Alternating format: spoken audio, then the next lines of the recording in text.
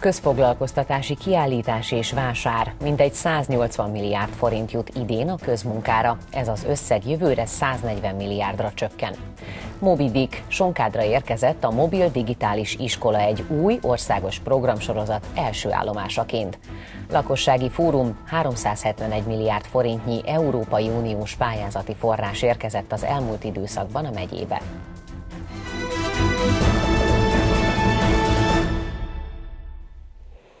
Mintegy 180 milliárd forintot biztosított idén a kormány a közfoglalkoztatásra. Ez az összeg jövőre 140 milliárdra csökken. Ez a Kölcsei Televízió híradója. Üdvözlöm Önöket! A közfoglalkoztatásnak jelentős hatása van a munkaszocializációra, a hátrányos helyzetűek közösségbe integrálására és a vidéki elvándorlás mérséklésére is. Többek között erről beszélt a területért felelős helyettes államtitkár Nyíregyházán a negyedik megyei közfoglalkoztatási kiállítás és vásáron. Minden a közmunkáról szólt csütörtökön Nyíregyháza főterén a negyedik megyei közfoglalkoztatási kiállítás és vásáron. A kiállítók faházait is a közmunkaprogramban résztvevők készítették, ezekben mutatkoztak be a megye települései. Baktalóránt házán például alig 300-an dolgoznak közmunkásként, akik leginkább a mezőgazdasággal foglalkoznak. Jelenleg mezőgazdasági termékekkel érkeztünk, de a korábbi időszakban, amikor még folytattunk faipari tevékenységet is, akkor természetesen azokat is bemutattuk. Jelenleg a mezőgazdasági program mellett úgynevezett szociális közfoglalkoztatást valósítunk meg, tehát utak karbantartása, földutak karbantartása, belvízelvezető rendszer fejlesztése, karbantartása, tehát ezek vannak még a településen. A standokon végignézve jól látszik, hogy a legtöbb közfoglalkoztatott mezőgazdasági vagy feldolgozással kapcsolatos munkát lát el, ez pedig lehetőségeket nyit számukra, hogy visszakerüljenek az elsődleges munkaerőpiacra. Az idei évben több mint 10.500 embernek segítettünk abban a megyében, hogy az elsődleges munkaerőpiacon helyezkedjen el.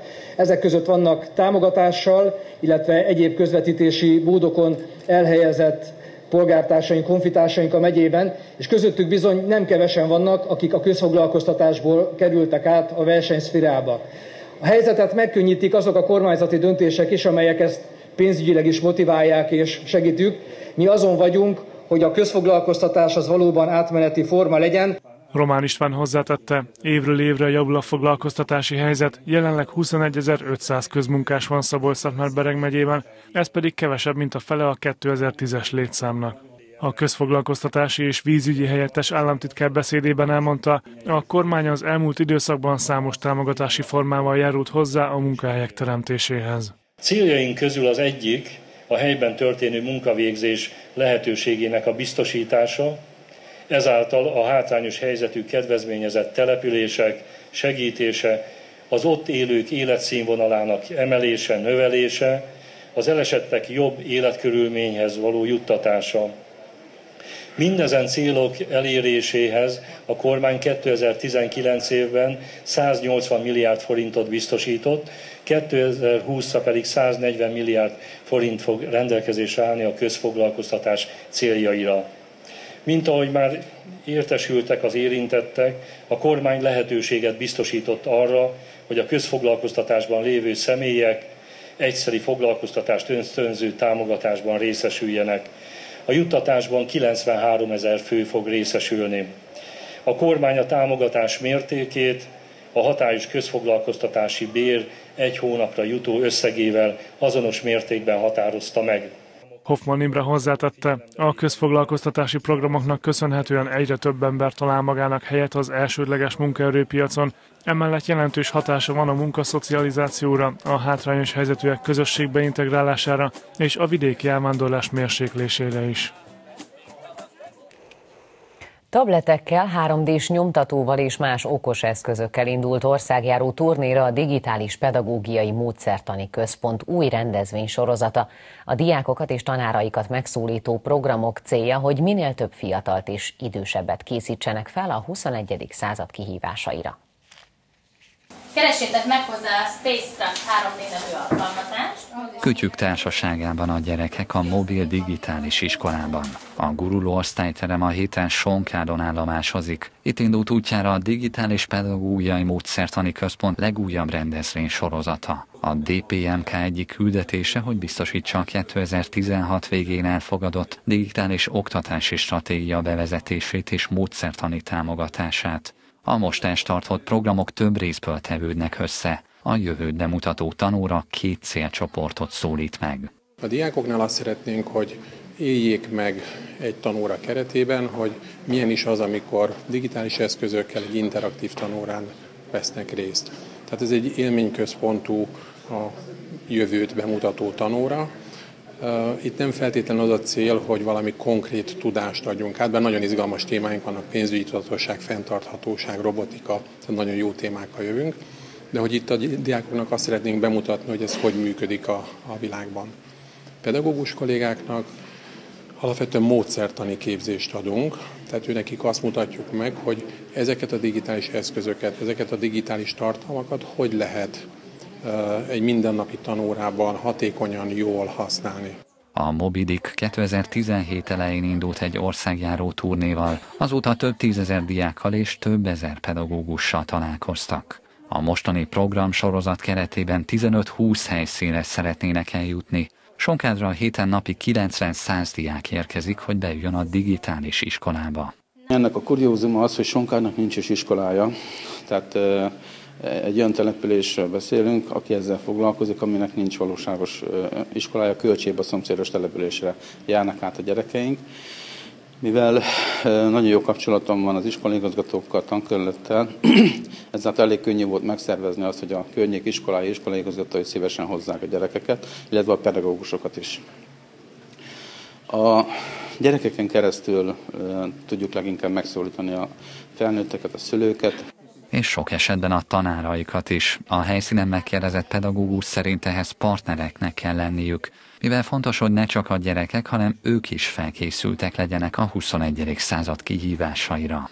A mi tantestületünk nagyon fontosnak tartja azt, hogy felkészültek legyünk a 21. század kihívásaira, és igazából úgy gondoljuk, azt hiszem beszélhetek a kollégáim nevében is, hogy a mai gyerekeknek a figyelmét nem elég csak felkeltenünk, meg is kell tartanunk ezt a, ezt a figyelmet, és azt látjuk, hogy a digitalizáció lehet ennek az egyik eszköze, amivel ezt a figyelmet el tudjuk érni a gyerekeknek gyerekeknél, illetve azt, hogy partnerek legyenek, bármilyen foglalkozásról legyen is szó. Munkában a magyar gyártmányú háromdimenziós nyomtató. A kijelzője szerint közel 1 óra 20 percbe telik, amíg elkészül a 3D-s modellként megadott formával.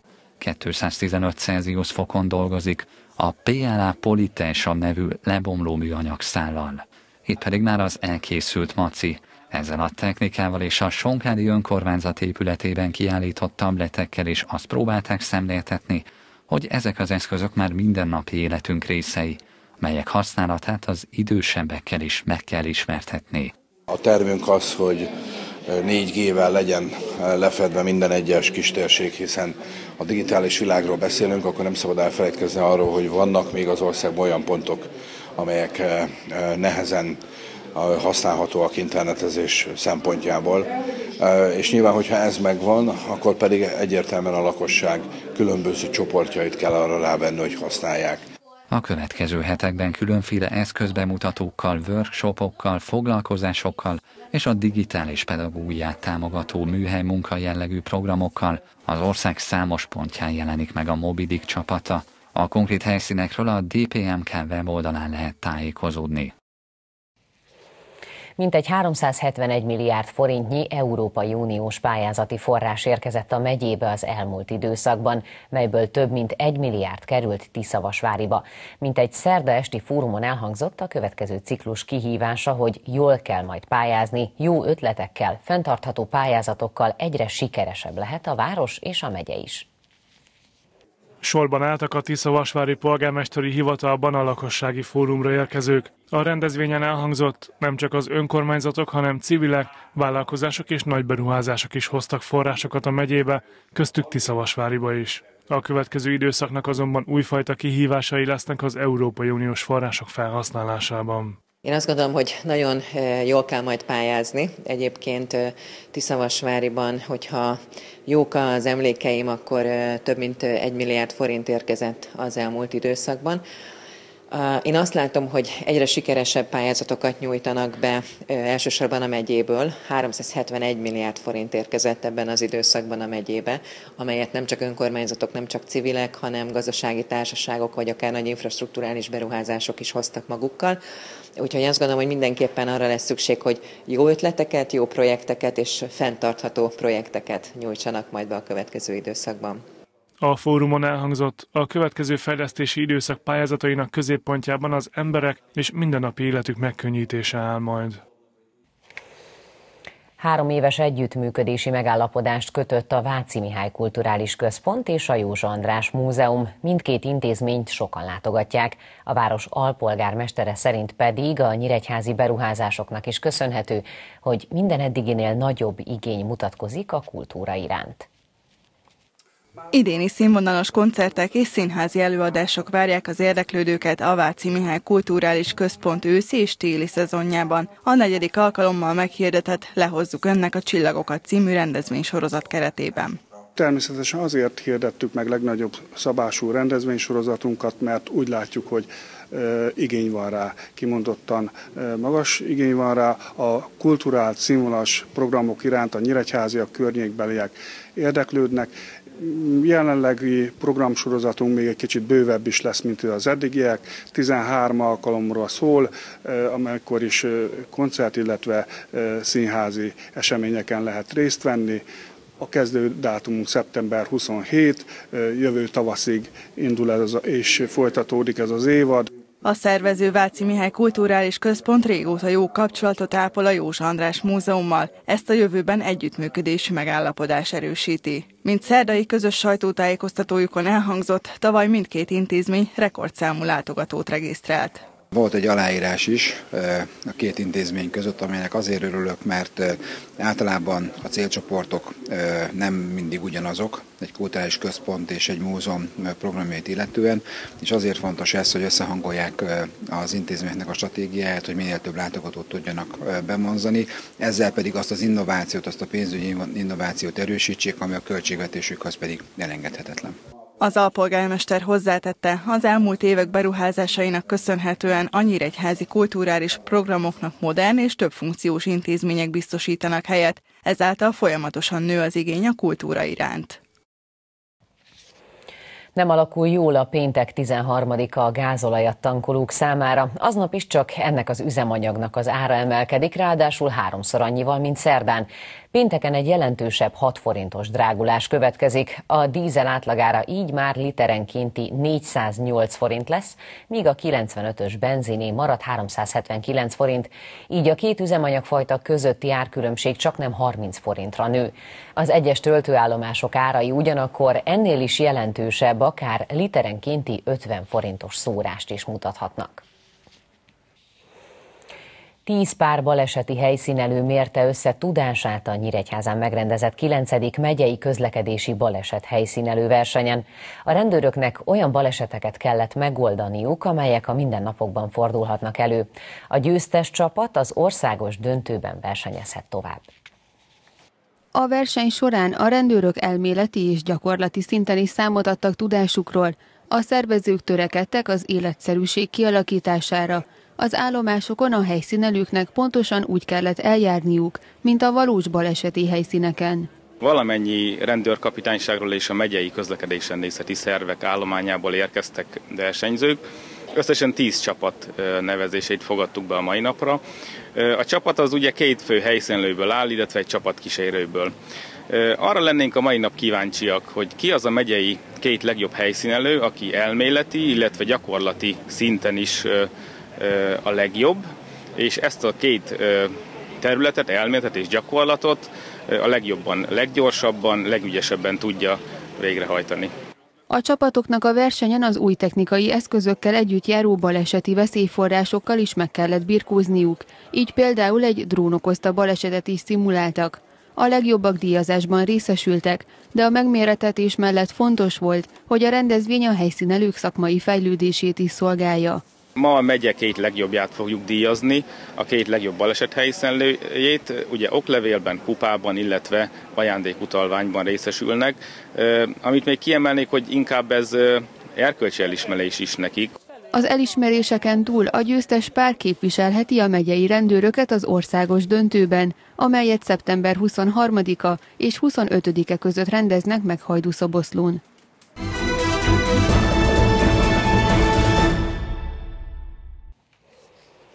A csapatbajnoki döntőn 5 kilométeres távon elért győzelemmel hangolt a Katari világbajnokságra Helebrant Máté. A nyíregyházi gyalogló a kilométerek gyűjtését követően már más jellegű edzésmunkát végez, és bízik abban, hogy jól alkalmazkodik majd a dohai körülményekhez.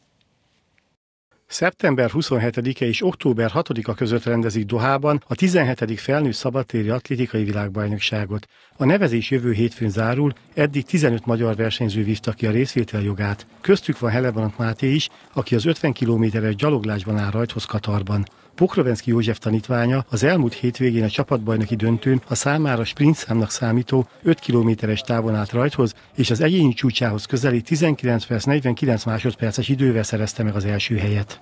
Nagyon jó formában érzem magam, ez az edzéseken lévő időkből is látszódik. A június, július, augusztus az tényleg nagyon kemény időszak volt, nagyon sok kilométer gyűjtöttünk, ez most már kicsit lezárult, és a, a következő három hét világbajnokságig már kicsit más a fajta munkával fog telni, már nem fogunk annyi kilométert menni, viszont kicsit gyorsabb edzések következnek, és majd az utolsó héten, vagy az utolsó pár napban fogunk egy kicsit majd rápihenni a világbajnokságra, és remélem, hogy akkor tudok majd igazán csúcsformába kerülni. Mentálisan meg nagyon erősnek érzem magam. Úgy érzem, hogy, hogy ez a nyári folyamatos edzés az nagyon megerősített fejben is. A hőség miatt több versenyszámot is az éjszakai órákban rendeznek meg a VB-n. Az 50 kilométeres gyaloglás mezőnye szeptember 28-án 23 óra 30-kor vág neki a távnak. Nekünk mindig reggel szokott lenni a, ez a versenyszám, most meg pont a fordítótja lesz, hogy éjszaka lesz, és ugye ez egy négy órás verseny, hajnal négyig fogunk körülbelül versenyezni. Nem nagyon lehet rá készülni, szóval az, hogy előtte hónapokkal már átálljunk, az, azt el kell felejteni, az, az szinte lehetetlen. Maximum előtte két-három nappal fogunk majd átállni, majd a héten fogunk pont beszélni a válogatott orvossal.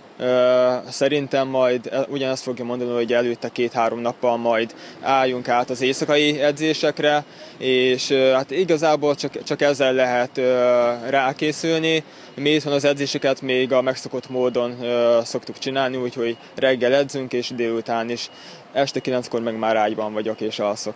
Helebrant Máté elmondta, többek között táplálkozási tanácsadó segítségét is igénybe veszi, hogy minél jobban alkalmazkodni tudjon a körülményekhez. Ha ez sikerül, akkor az olimpiai szint teljesítéséért és minél jobb helyezés eléréséért gyalogol majd a nyíregyházi atléta.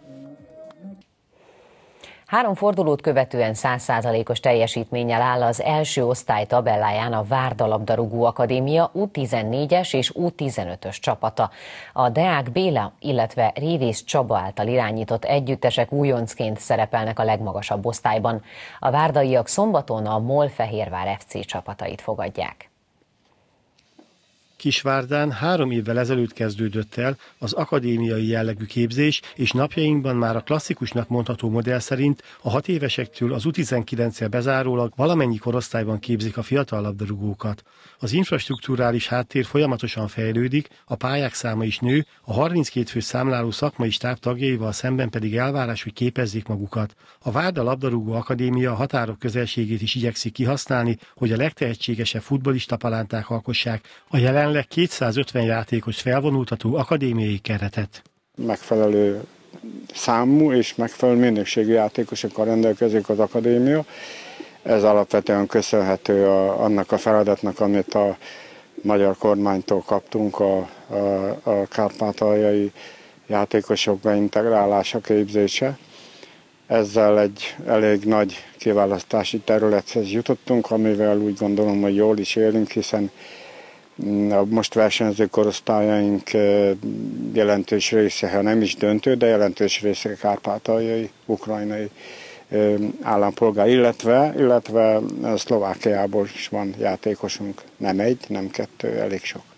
A Váda Labdarúgó Akadémia U14-es csapata az előző szezonban megnyerte a regionális bajnokságot, majd három osztályozós kört sikerrel letudva a klub történetében először feljutott az első osztályba, ahová így felkerült az U15-ös együttes is. Eddig a Kecskeméttel, a Paksal és az Újpesttel játszottak a fiatalok, és mind Deák Béla, mind Révés Csaba tanítványai megnyerték mindhárom meccsüket. Tulajdonképpen nem nagy meglepetés ez, mert a saját játékunkat vállaljuk fel mindenhol. Van a klubnak egy filozófiai stílusa, és mind a hazai, mind az idegenbeli meccseken ezzel a játékstílussal élünk, és eddig mind a három mérkőzést én azt gondolom, hogy maga biztosan imponáló gólkülönbséggel és a mutatott játék alapján is azt gondolom teljesen megérdemelten sikerült megnyerni, de hangsúlyozom, hogy nem ez az elsődleges. Tehát nem az eredményeket hajszoljuk, ez továbbra is nagyon fontos nálunk itt Kisvárdán, ami játékos képzésben gondolkodunk, megvannak azok a karakterek, megvannak azok a e, játékos profilok, akiket mi keresünk, és e, a csapat az nyilván egyénekből áll, de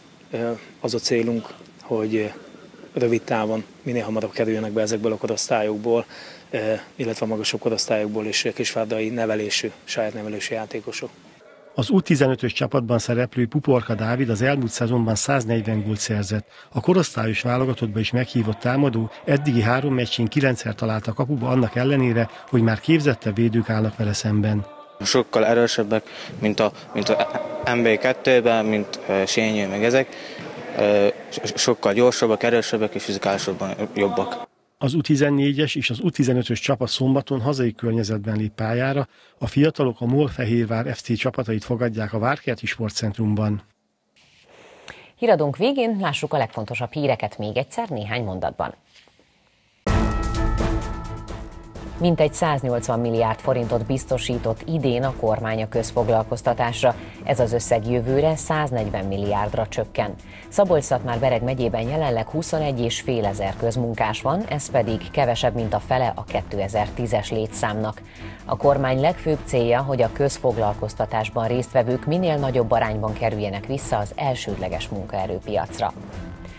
Tabletekkel, 3D-s nyomtatóval és szkennerrel, valamint más okos eszközökkel indult országjáró turnéra a Digitális Pedagógiai Módszertani Központ új rendezvény sorozata, melynek első állomása a héten Sonkád.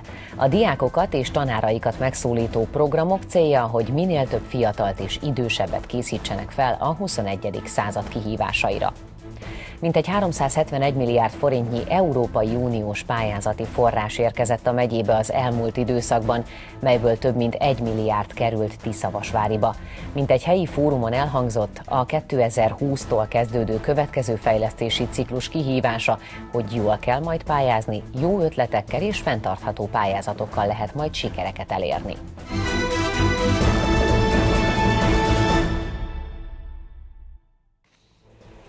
Önök a Kölcsei Televízió híradóját látták szeptember 12-én csütörtökön. Friss hírekkel legközelebb holnap este várjuk majd Önöket. Tudósításainkat addig is visszanézhetik a weboldalunkon. Én munkatársaim nevében is köszönöm a figyelmüket, a viszontlátásra!